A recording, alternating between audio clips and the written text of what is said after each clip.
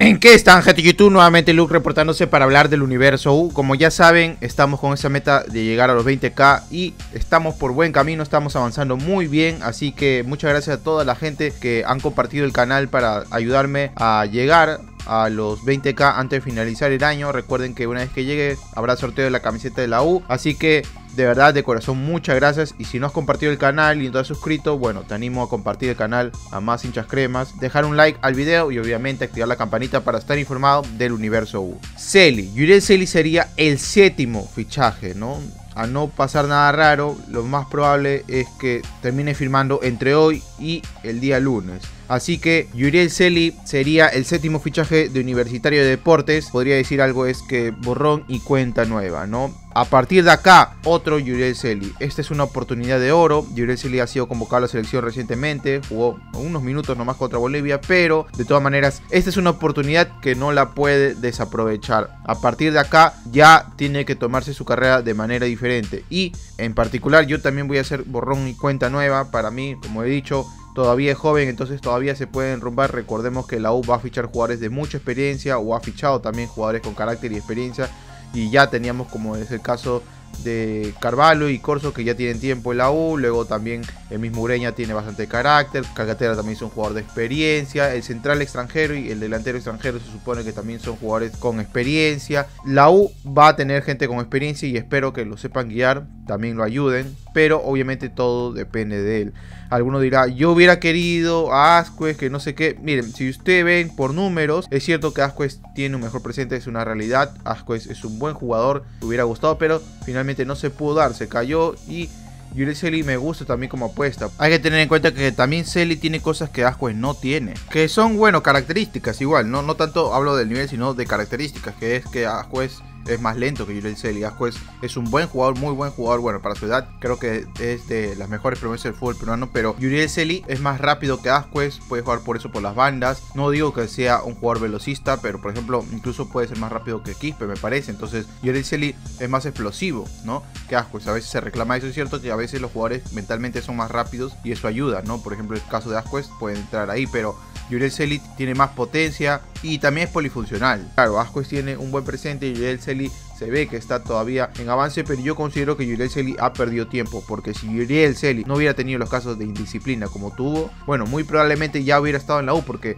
recordemos que Gregorio Pérez lo quiso la temporada pasada, o mejor dicho, a inicio de temporada, bueno, ya es temporada pasada, pero no llegó porque ya saben, ¿no? Y finalmente la U va a tener que pagar compra un porcentaje del pase de Yuriel Celi. Esto demuestra que realmente lo quiere. Así que Yuriel Celi tiene que dar el triple porque la U se la está jugando. Por él se la está jugando. No solamente que está comprando un pase, sino que es el hecho de que hay muchas dudas en el universo U por Yuriel Celi. Porque tiene antecedentes. La gente piensa que todo va a continuar igual y va a seguir con el tema de la indisciplina. Y la U se la ha jugado acá, ha apostado por él, lo ficha. Entonces Yuriel Celi tiene que demostrar y tiene que retribuir esa confianza de la U con él. En cuanto a la comparación es, bueno, yo considero, repito, que Yuriel Celi todavía no hemos visto la mejor versión de los. El pick de Yuriel Celi o el mejor momento de Yuriel Celi todavía está por venir, todavía está enrumbándose. Yuriel Celi tiene mucho talento, recordemos esa sub-17, Yuriel Celi era figura, en un momento Yuriel Celi fue promesa del fútbol peruano, tentado por Racing, se cayó, repito, porque todo ese momento Yuri estaba con la cabeza en otro lado. Digo estaba porque a partir de ahora tiene que ser otro jugador, a partir de ahora se tiene que concentrar en el fútbol y para recuperar ese tiempo perdido que considero que tiene perdido porque ya él hubiera estado en un club grande, pero bueno, ya, ya fue. Entonces para recuperar ese tiempo perdido tiene que esforzarse no igual, sino que más que el resto, quedarse esta tarde, entrenar mucho más, o sea, entrenar el 200 o el 300% más que los demás. Ahora, el otro nombre elegido es Marcos Arabia, que también a no pasar nada raro debería terminar siendo jugador de Universitario de Deportes, así que bueno, yo ya hablé de Marcos Arabia en la transmisión de ayer, no me gusta, le soy sincero, no me gusta, yo no quería que venga ese central a la U, pero bueno, una vez que se ponga la camiseta de la U, como dije en el en vivo también, en la parte final creo, mm, bueno, hay que apoyarlo, hay que pensar que le va a ir bien, en qué nos puede ayudar, yo imagino que a despejar balones, imagino que a, reventar a los últimos minutos, ¿no? Porque bueno, tiene un buen físico, así que eso es su mejor virtud, ¿no? Físicamente es un jugador bastante fuerte, entonces para despejar balones imagino que podría entrar en los minutos finales, ¿no? Es una alternativa, eso sí, llega como alternativa, no creo que termine siendo titular, si termina siendo titular sería impresionante, la verdad, pero bueno, espero que sea porque habla positivo de él y no porque hable negativo del equipo, ¿no? Porque todavía falta el central extranjero. Marcos Arabia también se está comentando, bueno, el día de ayer el tío Elmo comentó que podía llegar con una paga también, espero que no sea así, o sea, de verdad de acuerdo con el fichaje de Marcos Arabia, pero además si se le paga, la verdad es que lo vería innecesario. Tiene contrato con Muni, así que la U tendría que comprar un porcentaje del pase, sería comprar más préstamo de jugadores. Yo espero que solamente sea el préstamo de jugadores y con eso alcance. Esperemos que solo sea un trueque de jugadores en todo caso, ¿no? Que es lo otro. O sea, se dice que plata más trueque de jugadores, o sea, cambio, darle jugadores a Muni. Porque Comiso quiere llevarse jugadores de la U. No sé si Barco, que también se está buscando prestarlo, entre ahí. Podría entrar Barco también en ese negocio. Espero que solo sea el cambio. Repito, una vez que se ponga la camiseta crema, vamos a darle ese voto de confianza. Vamos a esperar que le termine yendo bien, a pesar de todo lo que yo pienso, apoyar más y empujar el carro. Porque el bien de Marcos Arabia va a ser el bien de la U. Tiene que mejorar lo hecho en Deportivo Municipal, porque Deportivo Municipal, si no es por Stein y la San Martín, los dos que han descendido directamente, es el equipo con la defensa más batida del fútbol peruano y hay que decir que hay un problema, que Melián fue figura, o sea, Melián salvó muchas veces a Deportivo Municipal, entonces la defensa no anduvo bien, definitivamente por ahí dirán, no, pero jugó bien con la U porque, a ver, es un partido, ¿no? Y además, de todas maneras, la U generó un montón. De todas maneras, recordemos que vendría como alternativa. Además, tiene 23 años, ¿no? Todavía es joven y bueno, espero que con su metro 88, casi metro 90, nos ayude en el tema aéreo, ¿no? Que bueno, igual tenemos a Guzmán ahí, pero bueno, él físicamente es mejor que Guzmán. Maneja la pierna derecha. Yo creo que su juego es muy parecido al de Chuler. A lo mejor cae la posibilidad que a algunos de los hinchas de la U le guste porque físicamente, ¿no? Es bastante empeñoso. Recordemos que había hinchas de la U que les gustaba Chuler, ¿no? También les gustaba Chris Martínez porque, bueno, eran empeñosos, entonces a lo mejor lo de Marcos Arabia les termina de gustar. Y bueno, ya hay alternativas también para lo de Vegetti, ¿no? Se está comentando alternativas. Bueno, todavía lo de Vegetti no está descartado, ojo, no está descartado, se ha complicado, pero no está descartado. Toca esperar, ¿ah? Pero en fin, salió esto de Gustavo Peralta que dice el delantero argentino Pablo Magni fue ofrecido días atrás a los grandes del full peruano. Obviamente grandes del full peruano. Entonces este delantero sí ofreció a la U. Yo viendo sus números, sí me gusta. Mira, Magni, 32 años, 1,79m, 1,80m más o menos por ahí. Delantero, argentino, maneja la pierna derecha. Club actual Atlético Tigres, donde hizo 5 goles y 2 asistencias en la primera división de Argentina. Y alguno dirá, uy, esos números en la primera división de Argentina, ojo. Pero el año pasado en segunda, en 38 partidos, en Tigres también, metió 24 goles y 3 asistencias. Ojo con esto, o sea, en la primera no le ha ido tan bien, pero en la segunda Argentina la rompió, peor que Vegetti, 24 ¿eh? goles y 3 asistencias. Pero sí, esto fue el 2021 y el 2020 en Sarmiento, también en segunda, en 28 partidos hizo 20 goles. Es decir, números muy, muy buenos en segunda. Es cierto que siempre en primera de Argentina le ha costado, es más, el 2018 en San Martín jugó también primero y te le costó también. No estuvo bien, igual que este año. No tiene un buen presente inmediato, pero un presente reciente, ¿no? Que es el 2021. Sí, fue bueno. Y el 2020 también fue bueno. Yo creo que en segunda la ha estado haciendo muy bien. Tiene 32 años. La verdad es que no es un 9 que sea malo. ¿ah? Para la Liga Peruana me parece que podría dar algo. Ahora, la diferencia acá que este lo veo súper, súper rematador. Este es un 9 que muy bueno rematando en primera. No solamente es bueno rematando en primera, sino que tiene muy buenos recursos para hacerlo. Todo lo ve arco, ¿no? No me parecería una mala alternativa. Es interesante. Lo que sí es que dice que ha sido acercado, así que no podemos decir que la U ahorita se ha fijado en este 9, ¿no? Pablo Magni, ¿no?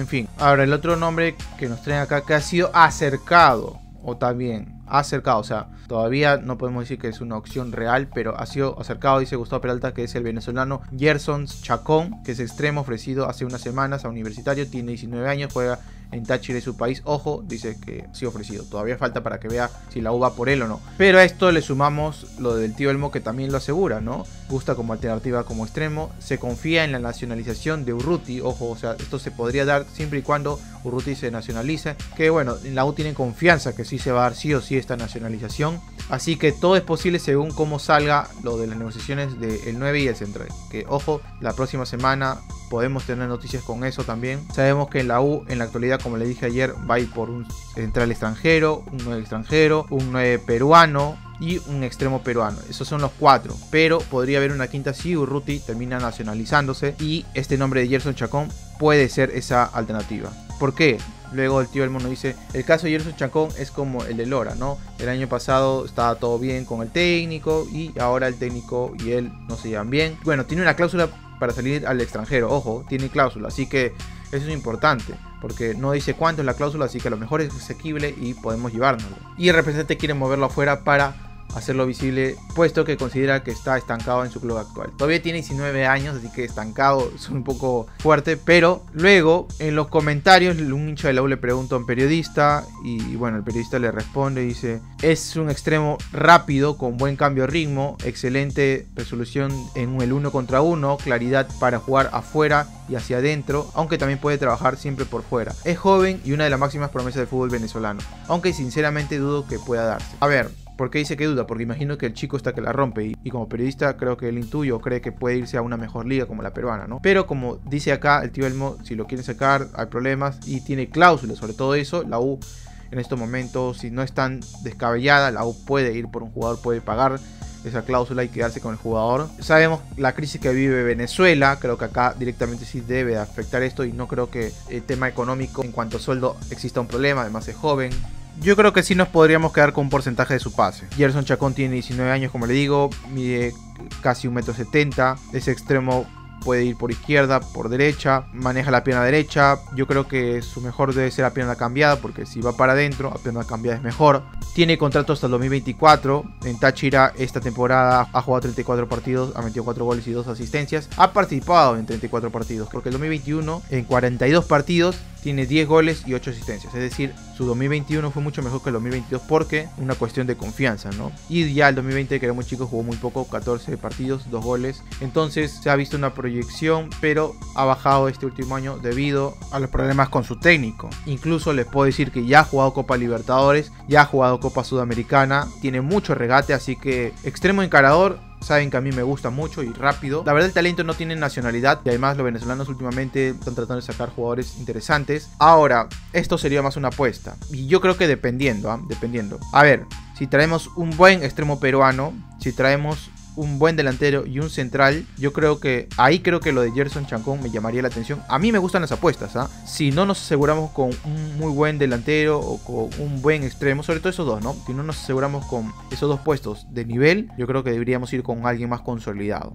Pero si vamos bien enrumbados en cuanto al delantero y el extremo peruano, creo que esta apuesta me agrada y yo creo que sería interesante que la U compre porque puede ser vendido a futuro, ¿no? Si es que marca la diferencia acá, puede ser vendido a futuro. La Liga Venezolana ha destacado y lo bueno es que tiene 19 años, así que todavía tiene margen de mejora. Por lo que si sigue esa curva ascendente, también lo más normal es que le empiece a quedar chica la liga peruana y ya en ese momento se va a volver un jugador vendible porque nosotros hemos vendido jugadores a México, bueno, recientemente a Valera lo hemos vendido, entonces sí creo que la U podría vender más que Táchira, pienso yo, si hacemos bien las cosas. Pero bueno, ustedes me pueden poner en la caja de comentarios qué opinan tanto de Pablo Magni, les gusta como alternativa. Ojo que lo de Vegetti, repito, todavía no se ha caído, todavía es una opción, pero de todas maneras me gustaría su opinión. Y también lo de Gerson Chacón como alternativa, ¿no? ¿Qué les parece? ¿Podría ser una apuesta o le gustaría apostar por un jugador así? Para una futura venta y agarrar dinero para la próxima temporada que es 2024 o incluso para el 2025, quién sabe, pero una apuesta le gustaría apostar por un jugador venezolano promesa, de las más grandes promesas como dijo el periodista venezolano de allá y también de Marcos Arabio obviamente y